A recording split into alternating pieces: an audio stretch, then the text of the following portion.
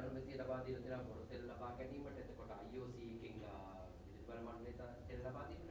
ඉදිරියේදී බලාපොරොත්තු තබාගත හැකි නේද? විදුලි ඔය ඉතින් තාම ඔය තීන්දුව අරගෙන ඒවා එනක එනකොට එනකන් මේ විදුලිය තියෙන්නත් ඕනේ වාහන දුවන්නත් ඕනේ දැන් ඇමතිවරු දෙන්න ඇවිල්ලා අපිටනේ කියන්නේ ප්‍රශ්නේ මේ හරියට අපි ඇති කරපු ප්‍රශ්නයක් වගේ එයා එක්කෙනෙක් කියනවා මට දෙන්න බෑ තෙල් අනිත් එක්කෙනා කියනවා මට ඩොලර් නෑ ගන්න එතකොට දෙන්න දෙපැත්තක් කියනවා එයා එක්කෙනෙක් කණි තෙල් ඇමති කියනවා විදුලිය කපන්න වෙනවා විදුලිය ඇමති කියනවා නෑ විදුලිය කපන්නේ නැහැ ඉතින් මේවා එකක් මේකට තමයි කැබිනට් මණ්ඩලයක් තියෙන්නේ ඒ දෙන්නට කතා කරගන්න තමයි කැබිනට් මණ්ඩලයක් තියෙන්නේ.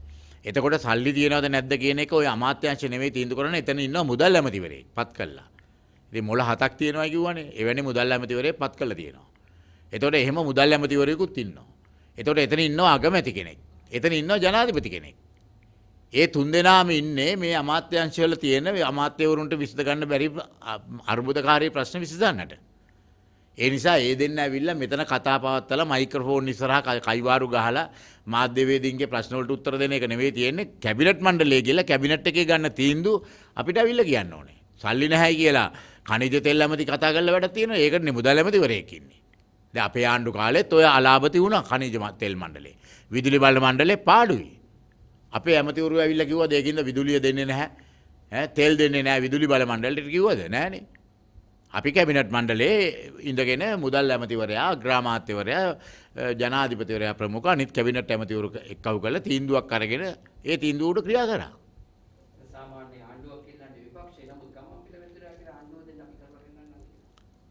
දැන් දීලා තියෙන්නේ මොකද්ද? ගම්මන් පිළට. ඈ? ගම්මන් පිළ දන්නේ නැතුව ඇති ගම්මන් පිළ ඉන්නේ ආණ්ඩුවේ කියලා. එහෙමනේ මේ ඇමතිවරු. ඇමතිවරු දන්නේ නැහැ කොහෙද ඉන්නේ කියලා.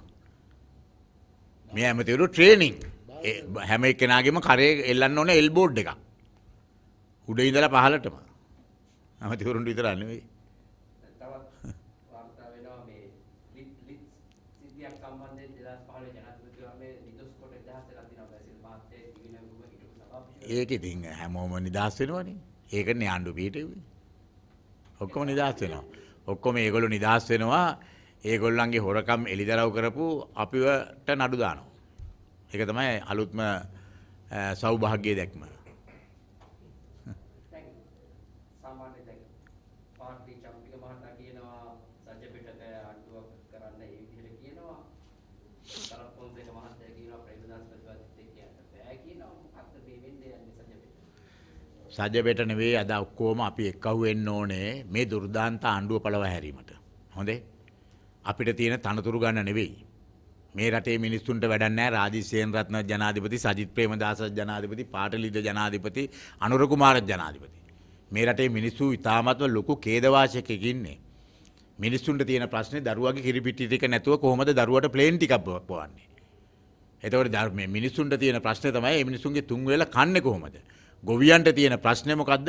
මේ මේ මේ කරපු විනාශකාරී වැඩෙන් පොහොර නැතුව ඒ මිනිස්සුන්ගේ ඒ මිනිස්සුන්ට කන්න තියා මේ ඉන්න හිටින්නවත් තැනක් නැති වෙන තත්වයකට අද වැටිලා තියෙනවා. ඒ වගේ මහා විශාල දුර්භාග්‍ය සම්පන්න තත්ත්වයකදී අපි ඔක්කොම එක්කහු වෙලා සියලුම කට්ටිය එක්කහු වෙලා මේ ආණ්ඩුව ඉතාමත්ම ඉක්මනින් පළවා හැරලා ජනතාවාදී ආණ්ඩුවක් ජනතාවාදී වැඩපිළිවෙලක් ප්‍රකාශයට පත් කරලා මිනිස්සුන්ගේ ප්‍රශ්න නිරාකරණය කරන්නේ කොහොමද කියන එක. ඒ පිළිබඳව රවුම් මේසකාරි වාඩි වෙලා සියලු නායකයෝ එක්කහු වෙලා අපි දැවන්ත වැඩපිළිවෙලක් ආ- ඉදිරිපත් කරන්නට ඕනේ.